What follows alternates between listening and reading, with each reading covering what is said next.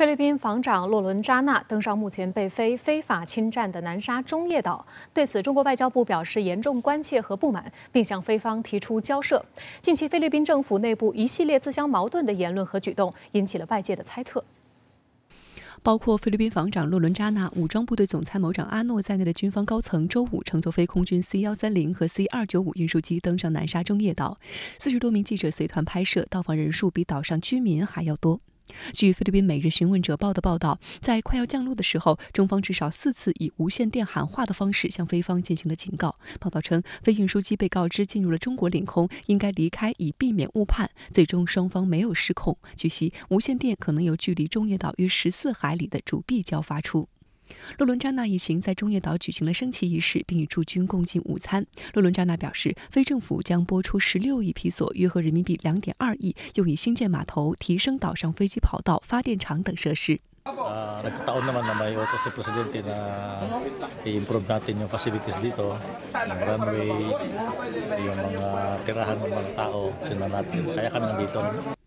此外，据菲律宾商报的报道，洛伦扎纳还向外透露，菲总统杜特尔特原本打算于六月十二日菲律宾独立节当天前往中业岛，但为了维护与中国的友好关系，因此取消了该行程安排。不过，杜特尔特仍希望至少在中业岛待上一夜，但具体日期尚未确定。如果能够成行，通讯部将对外公布。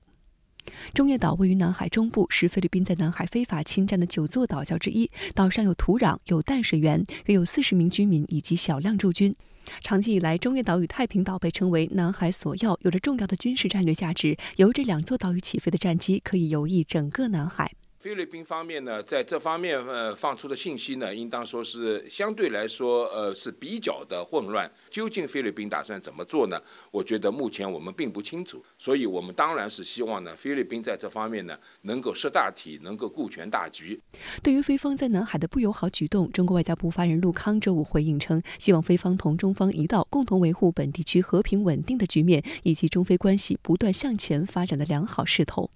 当天晚间，陆康再次表态称，菲方有关人士的这一举动不符合两国高层达成的妥善处理南海问题的重要共识。中方对此表示严重关切和不满，已就此向菲方提出交涉。